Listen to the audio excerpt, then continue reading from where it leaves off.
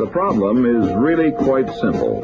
Find the best path to get from point A to point B. But now let's make some assumptions. Let's say that point A is on Earth. The Earth is rotating.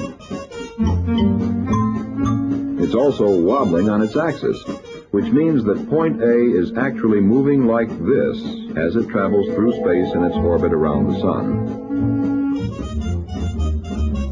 Now let's assume that point B is on the Moon. The Moon is also rotating. The Moon is also wobbling on its axis, which means that point B is describing a motion like this as it travels through space in its orbit around the Sun. Besides this, the Moon is moving around the Earth. So point A and point B do not stay the same distance apart. Also, the Earth and the Moon each have a different strength gravity field. This means that the direction and intensity of gravitational pull will change constantly along our selected path. Because of the movements, the sun does not always illuminate points A and B. We would like to leave A when it's lit and arrive at B when it's lit. The problem remains the same. Find the best path from point A to point B. But of course, this is a great oversimplification.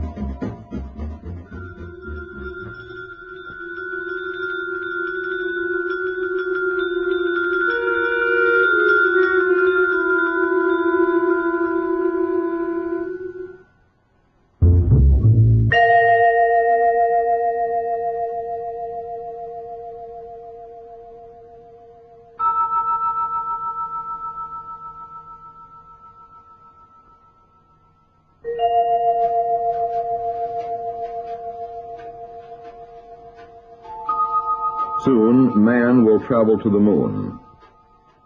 An astronaut will emerge from the four-legged insect-like spacecraft called LEM.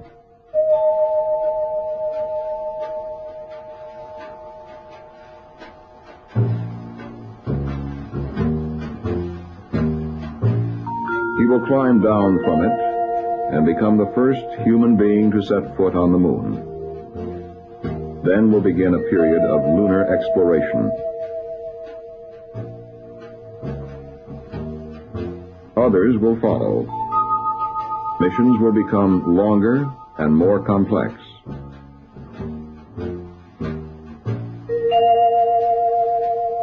Other missions will have gone before to develop hardware and procedures. The problems involved in accomplishing these missions are many. Some are obvious, some are not. Just as the hardware must be designed to do the job, so must the mission be designed. The considerations include objectives. What do you want to do? Requirements and constraints. Constraints include hardware performance, the ability of the tracking and communications network, the ability of the astronauts. In order to accomplish the objectives, the spacecraft and crew must be at the right place at the right time. This means the planning of a nominal mission trajectory. But realistically, contingencies may arise which could not be handled by the nominal plan. Alternate trajectories must be designed to handle these possibilities. The design of nominal and contingency missions is the job of the Mission Planning and Analysis Division, MPAD.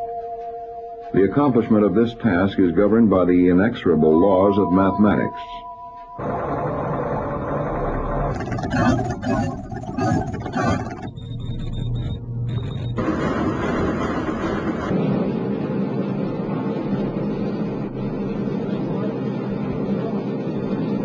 This is Bob Ernle. He is responsible for the compilation of real-time computer requirements for the lunar mission. Without computer facilities, the lunar mission would be impossible. It would take a team of competent mathematicians years to compute by hand just one of the thousands of trajectories that MPAD must compute and evaluate with the computer facilities. But while computers can give you specific answers, it's not possible to educate a computer to make decisions for conducting operations. A man must be in the loop to decide when the computer answer is good enough and when to use it. But where does it begin? Mission planning. For instance, how do you go about planning for a lunar mission? At least uh, we're satisfying the letter of the requirement. Okay, have you talked with the program office that uh, are they willing to accept that? Pete Frank is the chief of the Mission Analysis Branch. He is working on various aspects of the Apollo missions. That's the best we can do with what we have, meeting all the other mission constraints. When you first conceive a mission, you must think of objectives versus constraints. For the lunar mission, the biggest constraint is the amount of fuel you can carry. With unlimited fuel, you can choose just about any trajectory you want. But with only a certain amount of fuel that can be carried, you must come up with a realistic way to go. The simplest concept is a direct trajectory. A gigantic spacecraft is launched toward the moon. As it approaches the moon, it turns around, fires its rockets to slow down, and the entire spacecraft lands on the moon. Then everything lifts off and comes back to Earth. This is simple, but expensive in terms of fuel. But there are two other ways involving rendezvous in Earth orbit or rendezvous in lunar orbit. The one finally settled on was the lunar orbit rendezvous. You launch a spacecraft into Earth orbit, then inject it toward the moon. As you approach the moon, you slow down and go into a lunar orbit. Then you detach a smaller spacecraft and land it on the lunar surface. When your lunar exploration is finished, you launch back into lunar orbit and rendezvous with the orbiting ship. This method is well within our technological capabilities and can fulfill basic mission objectives. But while MPAD does not determine the objectives of missions, it must provide information to those who do. Plans for modifying radar sites for support of the lunar orbiter are being made. I wonder if you have any comments you'd like to make about uh, which sites would be best to modify first. Jim McPherson is one of the men who provides this information. He's working on the tracking network for Apollo. Yeah, there's some reason for wanting to modify Carnarvon early, though, for telemetry support. Uh, is there a good combination that involves Carnarvon? Yes, there is a combination that's not quite as good as the Atlantic stations, and that's uh, Carnarvon, Canberra, and Guam. Listen, I think we can get some preference expressed about uh, what stations we want modified first, and they'll be accepted. Suppose we write up uh, a memo on this to the director's office and uh, see if we can uh, get something rolling. I'll get on it right away. Real good. The location of the tracking stations must be considered when planning mission tests or experiments that require ground communications, telemetry, or radar tracking. Can mission objectives be supported by the tracking network? Another big area of concern is the placement of recovery forces. Where is the spacecraft going to come down? Where do you put your recovery forces? This is directly dependent upon trajectory design and contingencies. Besides nominal recovery areas, a recovery capability must be available in case of a change in mission plans or an abort. It has been estimated that 90% of mission planning has been in the contingency area. What to do if something goes wrong. Okay, so the moon is down south then at 28 degrees, and let's say that we've launched on an azimuth of approximately 72 degrees. Okay, and then put the Earth and Cape Kennedy about so. Yeah. So then the inclination now to the Earth-Moon plane is is not too great. Given a basic method, lunar orbit rendezvous, ah, given basic design concepts for launch vehicle and spacecraft. The next step is to work out the best trajectory to get to the moon. Hal Beck, head of the Lunar Trajectory Section, is working on this problem. On some missions, let's let's take the moon at a, at a zero degree declination. For the first lunar mission, a free return trajectory is planned. That is, without mid-course corrections, the spacecraft will leave Earth, go around the moon, and return to a safe re-entry corridor.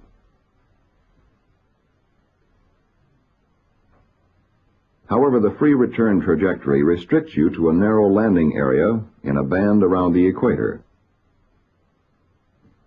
A non-free return trajectory involving different transit times will allow landings in a much greater range of latitudes. These will be used for later advanced missions.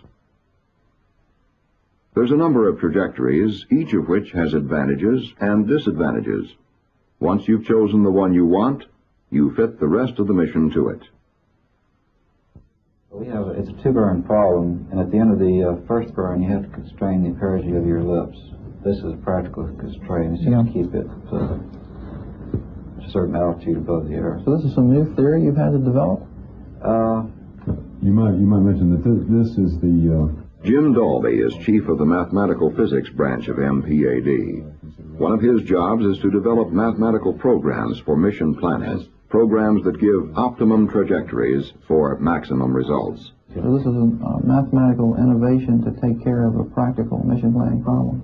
Yes, although the parity constraint he's talking about has been developed for some time, but uh, we've had to develop the accuracy of the second variation program I see. to uh, handle So this. this purging constraint is an intermediate constraint, as, as an example. yeah, right. but I got you. uh, the equation I already have on the board is the ba- a basic equation and calculus variations, and if you uh, if you take the first variation of it and set it to zero, this is a necessary condition for a extremal, and it's the basis of deriving all our uh, conditions that we need. Uh, Jerry is having this uh, problem for us, and I'd like for her to get up and discuss. Uh, Spaceflight is a unique business. Unique mathematical methods must be worked out to handle it, and old techniques are developed for new applications. These techniques can solve extremely difficult problems in a very short time. A six-hour problem, for instance, can be solved in 20 minutes. New applications appear every day. Other methods are tailor-made to fit individual needs. For example, predicting accurately where the spacecraft is, how fast it's going, where it's going to be. What can the tracking network do and how accurate will the answers computed from tracking data be? And this must be done long before the mission is flown. There is a residual uncertainty in all measurements. This uncertainty must be stripped away mathematically and the best estimate figured out. Then the measure of confidence in these estimates must be determined. Once the formulation and logic is underway, the computers come in. That one was about 30,000 right there. Yeah, about 30,000. Gets out quite a bit One of these computers is the hybrid, consisting of digital and analog computers tied together to act as a single unit. Work cases, we're doing the last two here, and we thought we'd show the effect here with, with wind and with, without it. This computer is used for abort studies, dispersion analyses, designing displays for flight controllers. A versatile computer requiring versatile people to operate it and program for it. We'll put it in the wind? Yeah, we'll see how the effect of the wind is. The lunar rotations are going to take the, or move of the site, right? Right. Mission design affects everyone working on a mission. So if we want to pass over the site one orbit later, the CSM is going to have to pass to the south of the site. The design of the hardware must be taken into consideration. Jim Taylor's main concern is the assessment of landing areas on the moon. the uh, orbit plane on the site you want to go. If we make a plane change at 90 degrees from the site, 2 degree maximum, what's the delta be? Uh, 180 feet per second. That's, uh, As mission planning gets farther down the line, data are given to the builders of the systems. And the systems are always changing. For instance, the lunar module. Early plans for the lunar rendezvous called for the LEM to be active with a fairly inert command module. However, the LEM is getting heavier and more fuel critical. Therefore, since the command module has plenty of fuel, it will go to meet the LEM. You know, one of the things on the lunar mission is that there is no logic for the time that the burn initiates. So, but on, if you follow the logic of all the other missions, what we build in is a prediction, or like it was occurring on 278, there is a built-in prediction of the elapsed time to the burn, based on some calibration, if you know the burn arc's going to be so long. Operational planning, the way to do things, is now entering the picture. Morris Jenkins is responsible for the compilation of program requirements for the Apollo onboard computers. Time should uh, start, or that should occur. Well, if you know where your perigee is, and you, you, you're intending to circularize at the same altitude as your perigee, you should be able to ignite on Since the onboard computer will be used by the lunar astronauts to solve essential navigation problems, the program must be framed to fit their needs as closely as possible. The astronaut should have a pretty good idea of what the answers will be before the computer spits them out. From this operational planning comes the reference trajectory. This is one of many documents assembled by MPAD.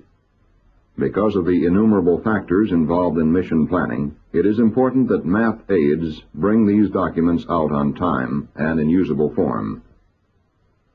Ed Lineberry, chief of the Rendezvous Analysis Branch, is largely responsible for the work leading to our first space rendezvous, a technique vital to the success of the lunar mission. Did Ken talk to you about the corrections we're going to make on this particular? Yes, sir. All we'll have to do is go back and change the scale, and just make it velocity in feet per second. I think other than that, it, it looks real good. You think you can have it completed by 3.30? Yes, sir, I believe so. Okay. The compilation of documents containing mission information is critical. This information must be available to the people who need it, when they need it, if mission schedules are to be met. That's a ground track. Of course, we fixed it that way so we get coverage from all the... Uh, Design of a specific mission begins about one year before launch. Often, a flight will change a few months before launch because of changes in mission objectives, rules, or hardware capabilities. down about there. Planning must be flexible to handle this. After the uh, first SPS burn and Where's the Where's the update? uh, after the first SPS burn, we got we pitched down in order to keep communication. Carl Huss, chief of the Flight Analysis Branch, produces detailed trajectories for specific missions. until we get around until that attitude corresponds to the inertial attitude of the second burn. What we do is, of course, go through the launch phase, and uh, we stay on the booster for 10 seconds after cutoff, after the booster cutoff, that is. That's to allow for tail off and for Marshall to get their data.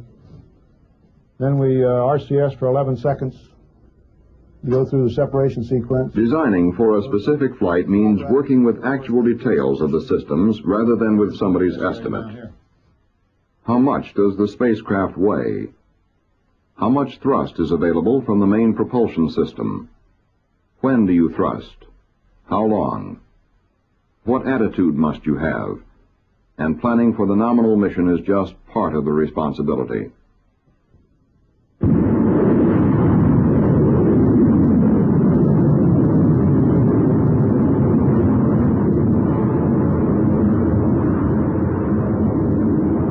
The main part is contingency planning and operational procedures that go along with emergency and what-if situations.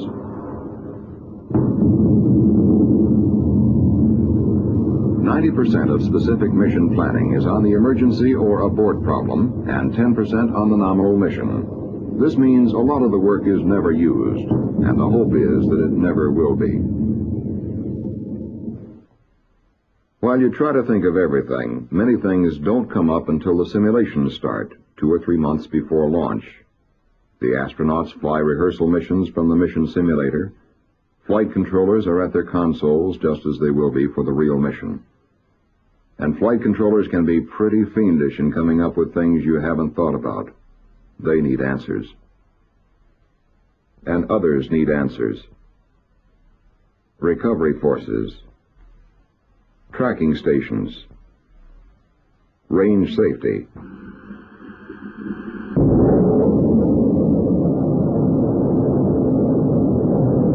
Before you can launch, you have to know where the spent launch vehicle is going to land, to be sure it doesn't end up in downtown Miami. Once the mission is ready to go, the launch vehicle on the pad, the crew in place, much of the work of MPAD is done, but not all.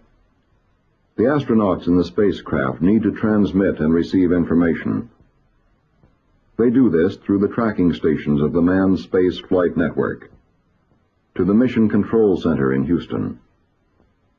When a flight controller in the Mission Operations Control Room calls for information, he needs it immediately, whether it's on the big display board, a data TV channel, or an indicator light. If an astronaut is going into orbit around the moon in five minutes, and the information he needs doesn't reach him for six minutes, it's not going to do him much good. This real-time information comes to the flight controller from the real-time computer complex located on the first floor of the Mission Control Center. Your sign key down. Go. SCA's computer suit. Uh, I say clocks are running. Right. MOC, 60 hours, 31 minutes. Right. Dynamics run Andrew. The operation of this complex during a mission is a vital function of MPAD. Here, data obtained from mission analysis are stored. For a Gemini rendezvous mission, the efforts of over 200 programmers for a year and a half are required. The real-time program consists of about 650,000 separate instructions. For the lunar mission, this will be at least doubled. One of the men supervising this complex during the mission is Jim Walker. Roger. Okay, I'm through with him then. MOC dynamics. Plot take mounted. There's a plot take mounted. Dynamics, computer suit. He can read it. Go ahead. Uh, I don't think we want to go for the PO data too. You got your targeting ground suit. Right.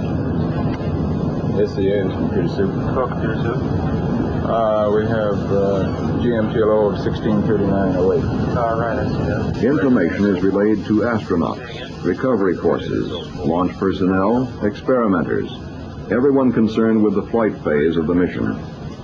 Right. Computers tell flight controllers what can be done, but first men must tell the computers. And this is just part of the job. Why don't we go ahead with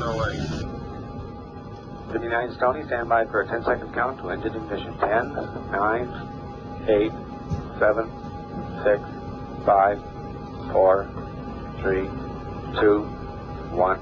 Ignition. Lift off. Clock is running. Do we get a lift up? In a staff support room adjacent to the Mission Operations Control Room, mission analysis experts constantly analyze data and advise flight controllers. They stand ready to handle any occurrence during a mission. That's a hydraulic switchover. 164233. Retro dynamics, motor 164233. Roger. That's plenty of time to correct. Retro. Did you call me retro? This is projector. Beginning to pitch down. We got something going Raj, here. uh, one six four DGM two is going three down three. fast. Raj, I understand. To give mission planners another set of tools during a mission, the auxiliary control room serves as a supplement to the real-time computers. These are high-speed computers that can handle any number of problems. The man responsible for the management, development, and manning of this complex is Clay Hicks. ACR trajectory. Go ahead. Would you run the heat processor for a 200 by 218 orbit? Raj, And also, can you give me a time estimate uh, on that request? Raj, it'll take approximately 15 to 20 minutes. Uh, okay, rush it up and I'll be standing by. Raj. Sometimes things come up for a mission not foreseen in real time. Something has always happened during every mission ever flown that's never been thought possible. These things flow into the auxiliary computer room where you can improvise in real time. Could you get this case and get it real quick for us? Trajectory ACR. Larry's going out. Even after the mission is down, the work of MPAD goes on. The mission is studied in detail during post-flight analysis. Don Incerto is head of the post-flight trajectory analysis section. He works with all the other sections of MPAD to find the actual mission trajectory and compare it with the nominal. Where they don't match, the reason must be found. They locate errors. For instance, from post-flight analysis, it was learned that the Hawaii tracking station was located several hundred feet from where it was originally thought to be. We don't really know. You know how it started. I, I Well, got the all impression- right, but nobody's talking about changing anything, are they, at this point? Not that I'm aware of. Well, then, Not as far as we're concerned. Well, I got this phone call, John. It It's a complex job involving computers and the work of thousands of people. Anybody that's right. I mean, as far as we're concerned, everything's still the same. not being able to hit the entry corridor never came into the picture as far as I knew. But telling Chris Kraft that kind of stuff is like Yeah, see, blowing the whole world up. You don't do it. So you're not in mission in trouble there as far as your guidance and your dispersion of Well, they're SPS. not inseparable. Apparently, you've only got a .15 car here because you're trying to meet some heating requirements. No, the uh, point five degree is, is that the answer you get from your dispersions? No, you might also mention, now that, Point five was, or that was their accuracy they wanted originally, point five? That was the oldest. That was. Well, what are the, what are the dispersions give you? As chief of the Mission Planning and Analysis Division, John Mayer is well aware of the complexity. Okay, well, what, what are the dispersions now? What's the answer you get? I'll bet it's, I'll bet it's point five.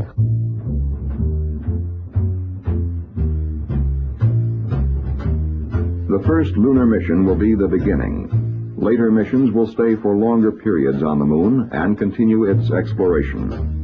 But getting to the moon is like getting to first base. From there, we'll go on to open up the solar system and start in the direction of exploring the planets. This is the long-range goal. It's a learning process. As more knowledge is gained, more confidence is gained. More versatile hardware can be built. Simpler ways of doing things will be found. The flight crews will do more and more.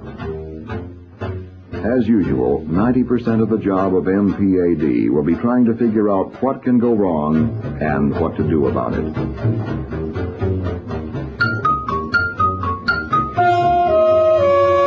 And without computers, it couldn't be done.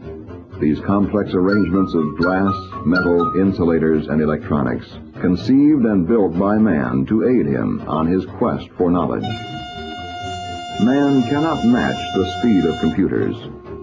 Computers cannot match the creativity of man. For with all the awesome speed of computers, the mind of man remains the activating factor.